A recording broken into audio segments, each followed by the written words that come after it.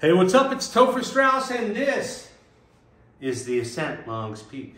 Longs Peak is an amazing peak right here in Colorado. And this is named after, uh, this, this structure right here is called the Diamond. Actually, it's, it's half of the Diamond. And the Diamond is one of the coolest, best places to, to rock climb in all of Colorado. Very famous.